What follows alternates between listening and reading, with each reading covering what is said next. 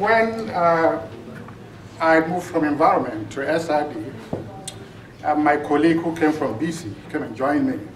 We realized that uh, for forest management planning, there's no tool or procedure for assessing conditions in a watershed before the plan is implemented. So we decided that we should put together such a procedure. Um, and there are three things we wanted to achieve. The procedure should be very simple. It should not uh, complicate an already complicated process, which is forest planning. It should comply with the physical principles that guide watershed processes. And thirdly, it should, the, the input data should be drivable from existing ESRD databases. So we should not have to run around looking for data to, to implement uh, a procedure. So we, um, to develop such a, a, procedure, you have to start from those processes themselves if you do not want it to, to validate those processes. So that's where we started. But uh, I just give you, uh, first of all, what the basis of, of forest planning is in, in this province, the legislative basis, and the, guide, the, the standards and guidelines for that, why we need the assessment procedure, and uh, response of watersheds to disturbance. So those principles that I, I, talked about, how do they change as you disturb or you take activities, use activities take place in the watershed? And then I'll give you a, a very brief points about the assessment procedure and uh, some results of a case study we carried out, and then conclusions.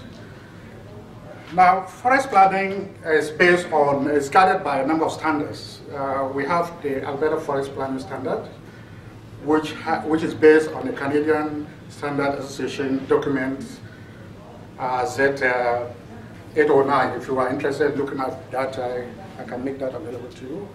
There are also operating ground rules that companies develop as part of their planning process. So the ground rules uh, describe where their roads are going to be, what the size of their cut blocks are going to be, where they're going to be located in the watershed, and so on. Okay, and we have the, the Mountain Pine Beetle Action Plan.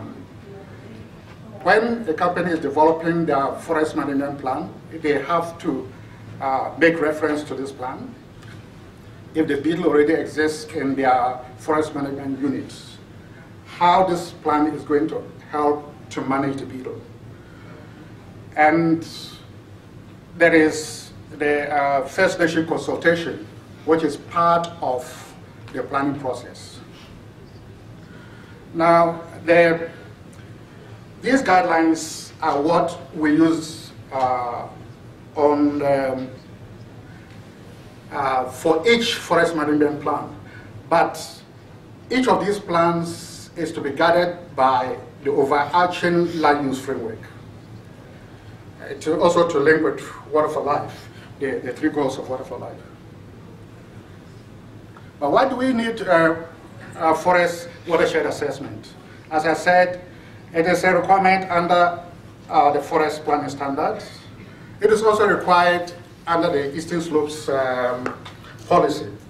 Under the land use framework, watershed, watershed uh, cumulative as, uh, effects in watersheds will have to be managed. That is a requirement under the land use framework. And uh, for forest planning, we, call, we, we develop what we call forest condition assessments to, uh, to address those cumulative effects. Watershed assessments are just a part of the forest condition assessments. We have others which assess habitat, wildfire, historical and projected wildfires, and many others. Uh, this presentation is just talking about only watershed assessments, not talking about other uh, forest condition assessments. However, there are uh, recent challenges in, on the landscape that also need to be addressed. So uh, for land use activities on the landscape, because these challenges exist, we need to carry out some assessment before we actually do the, uh, the land use activity so that we know what condition we are now, what to expect once that activity is completed, and how to manage the watersheds so that the, the values will remain useful to us. Now I'm delving into development of the tool. So to do this, uh, imagine yourself standing anywhere in any watershed. That yellow box there is where you are standing. Around you are a number of watershed processes taking place. There's precipitation. Some of it is caught in the vegetation canopy. Some of it falls as through fall to the ground. Part of that ends up as runoff. Some of it goes into infiltration. Part of the infiltration goes as subsurface flow back into runoff. And the rest goes into groundwater recharge. What is caught in the canopy is not everything that goes as through fall. Some is left, is lost in, back into the atmosphere. Depending on the nature of transport, uh, the precipitation, if it's snow, it's by sublimation. If it's rain, it's, it's, it's evapotranspiration. Now, the way trees influence all these uh, processes is that they, they help in that interception, but they also suck up water from the ground for photosynthesis. Not all the water they suck is used for photosynthesis. There's some left that is transport, transpired back into the atmosphere.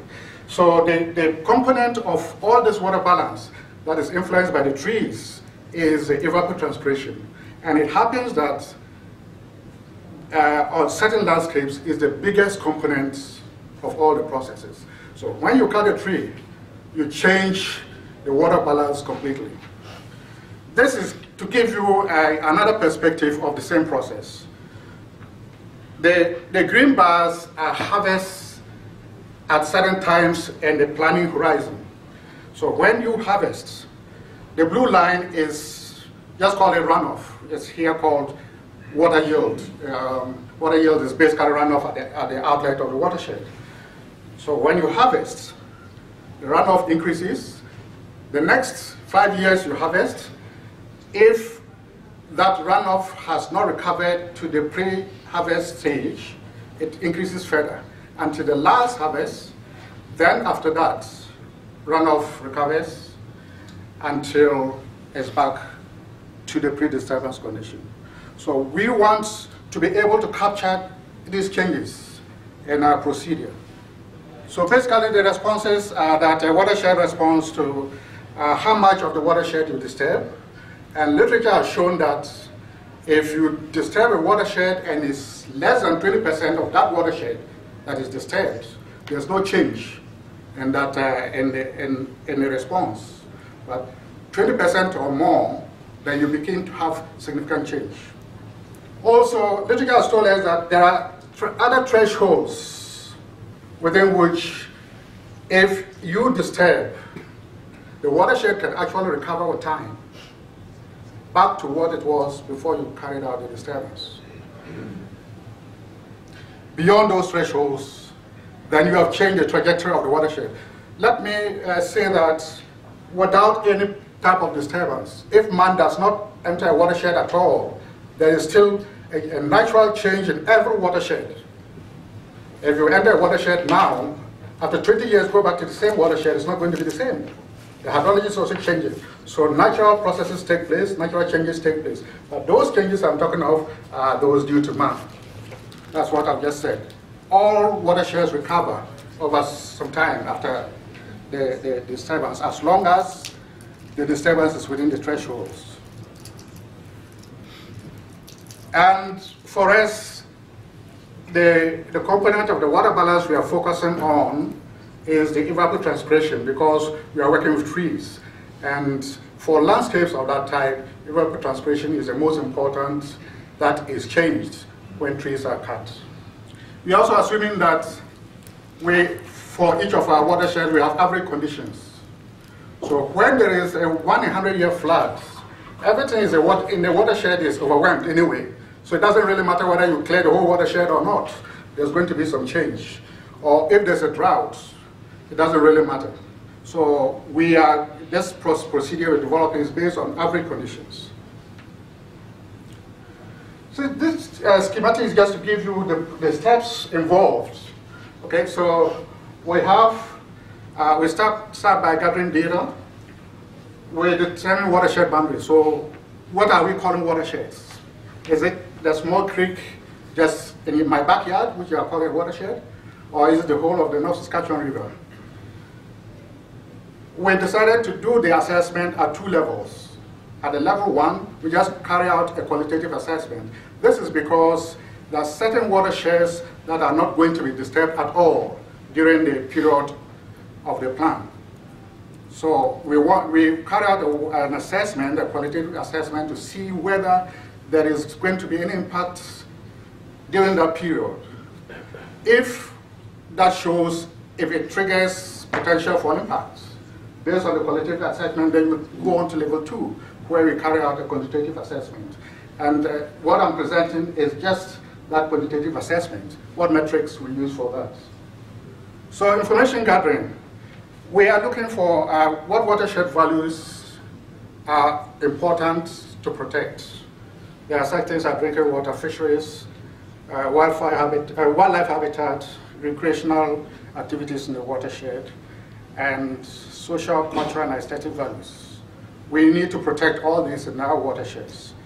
Uh, but there are also some hazards that we have to be aware of. Okay, uh, are there any existing impairments in our watersheds that we should be aware of before the company goes in? Are there any land management issues that we should be aware of before the company goes in? And as I mentioned earlier, is the beetle existing in the watershed or any previous wildfire history in the watershed? We have to we take all that into consideration. We also consider the watershed characteristics. Not all watersheds are the same, even when they are adjacent. The geology is different, the physiography is different, everything of the watershed is unique. So we have to take the characteristics of the watershed into consideration. We, we then carry out uh, delineations to identify what watersheds within the FMA, the Forest Management Unit, that we are going to consider.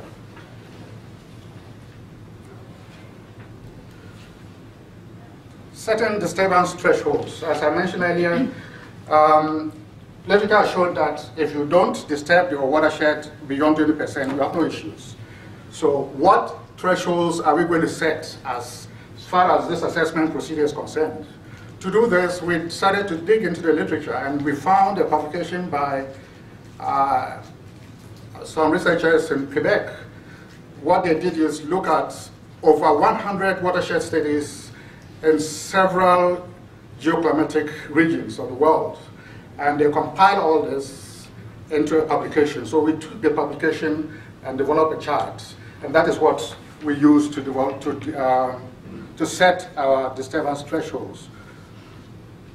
And that is a publication there. If anyone is interested, I can send them a copy. So beyond, say, 30%, at least 30% is, is disturbed. So we say that if 30% is disturbed, then we're going to have problems. 40%, 40% and 50% are peak flows that have been published to cause uh, changes in the geomorphology of channels and changes in the aquatic environment. So we use these as our disturbance thresholds. And how we determined them was this. We took that publication, um, pulled all the data together, and came out of this chart. So the, the vertical lines, the, the two vertical lines there indicate our thresholds. So based on this, we defined three levels of risk. So depending on what the threshold is, the risk is either low, medium, or high. So if it's less than 30%, uh, the hazard that we, we compute, if it's less than 30%, then the risk is low. If it's between 30 and 50%, it's medium. And beyond 50%, we have issues. But how do we deal with those? Well, I'll just explain uh, how those are calculated before I, I show you what we do. Watershed disturbance for forestry, apart from cutting trees, also involves road layouts. road layout affects those processes I described, but in different ways. So we, in developing this procedure, we considered how much of the watershed is actually cut, which is called the equivalent clear cut area. And we also looked at the road density. This uh, presentation is just based on the equivalent clear cut area. But for our procedure, we consider the two metrics. The equivalent clear cut area is just a surrogate to measure disturbance. Okay, so we have a fall before disturbance, before harvest, that value is zero. At the time of the harvest, then we assume that it's 100%. It also um, shows a change in runoff. The equivalent clear-cut area is a surrogate, it's also a surrogate for um, evapotranspiration because the canopy is removed. So once we uh, determine what the equivalent clear-cut area is, the change in that is a measure of how much peak flow will change. So to carry out the calculations, as I said, we, we wanted to uh, derive, to, to use uh, input data derived from existing databases. So the, the script that was used to de developed for the calculations uh, is based on the Python pr uh, programming method. Um, uh, anybody interested, we can make that available to them. And um, having delineated your watersheds, you know what a polygons is, what the individual characteristics, what the disturbance history is. We input all that into the Python program and calculate our ECA values. Here, I'm just showing you what ECA actually is. Um, so for instance, uh, suppose that for this watershed, only 50% of it is harvested. So we see we say that ECA is 0.5. And then 25, uh, uh, say 25 years after that, some of that watershed is recovered. Suppose that 50% is recovered. Then the ECA reduces to 0.25, just about half of that and say year 60. Suppose year 60 is the full recovery. This is not necessarily the case for all stand times. For instance, Aspen recovers after 20 years, no problem, no matter how much you, cut. You cut. Uh, uh, other stand types recover at longer, uh, during longer periods. But we're just using these time steps to demonstrate how the calculation is done. So the next stage is right here. So once we have got our ECA values calculated, we have our, our risk identified. So for each watershed, we know whether what the ECA value is, it less than 30%, then it's within the low risk range. Is it between 30 and 50%? There is medium. If it's greater than 50%, it's high. So what do we do?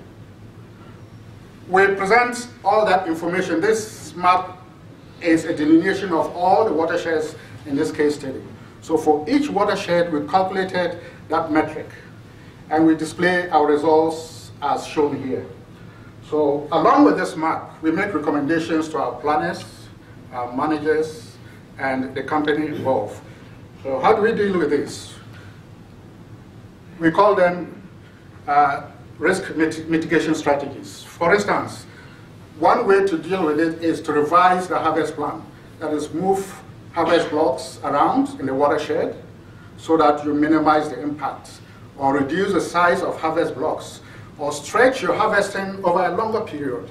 All these are strategies to reduce that ECA value. Relocate your roads, okay, and that is defined in the uh, operating ground rules you time your harvesting for frozen conditions, for instance. If you harvest during frozen conditions, the disturbance is less than during spring or summer. And one important consideration we always make is that we will monitor the watersheds after harvest till full recovery. And that is done under uh, what they call from the Forest Operation Management Program, Every company has to do that. And uh, we expect that they should have a plan to restore any conditions as um, stream banks that have failed, riparian vegetation, and so on. That, uh, the, the riparian strategy is defined in the operating ground rules. So this should be very clear in the harvest plan. How, uh, where are they locating stream crossings? The road layout will identify these. So these are some of the conditions, uh, some of the strategies you will use to minimize those impacts. There are other measures that uh, the company can discuss with our managers. Uh, for instance, if you have to reduce or stretch out your harvest plan, it has to be approved by the government because of sustainability issues and, and so on. So for this particular case study, implementing those strategies, these are the two uh, watersheds that remain as high impact watersheds. Every other one is of low impact or medium impact. We can live with the medium impact watersheds as long as we have that, uh, those mitigation strategies that go along with our harvest operations. Just a comment on these two watersheds. One thing we realized in developing those tools is that boundary watersheds tend to be unique in the sense that for these two, this particular watershed, only 1% of the entire watershed is within this FMA. So what we do is that we flag this one, and when this company is developing their forest management plan, then we consider this along with the rest of the watershed here. And similarly this. Most of the time, these uh, boundary watersheds tend to be issues, but that is how we deal with these. So with this, we, we know that as they go in there, if they are following what uh, we have outlined, we are not going to have any issues. Or we'll have minimum issues. So this is just an outline of the procedure. There's a lot more to it. And um, I can discuss what what um, what the rest of it is with anybody who is who is interested.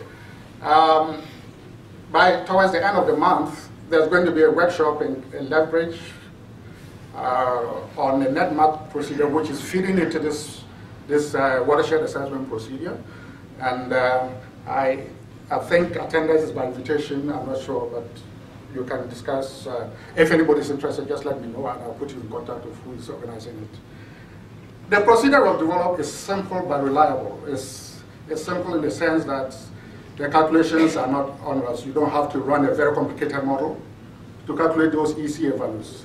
The road density values are even much simpler. We have uh, you know, algorithms for doing that. They're all part of the Python program. So all we do is that we input a spatial harvest sequence in it. We input our recovery curves.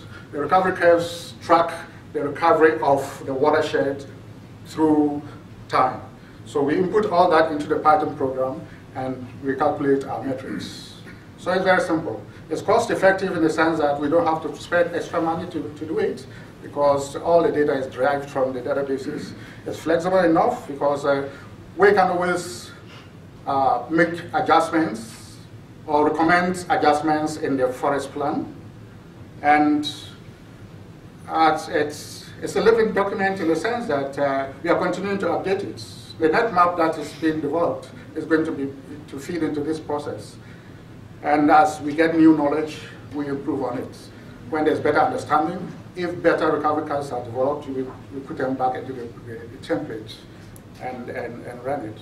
And we expect that companies will develop their operating ground rules, and that will be, will, will be part of the uh, operation throughout the period of, um, of their plan. So it's, uh, it's very simple, and we have, we have applied it to a number of uh, forest management plans. Results have been, have been uh, satisfactory, and um, we continue to improve on it. Monitoring, as I said, is an important part of it. The forest operation management uh, monitoring program uh, is uh, companies work with governments to implement it. So uh, depending on the monitoring frequency that is identified in the plan, we go out in the fields with the, with, with, with the company to monitor the, the, particular variables that we are interested in.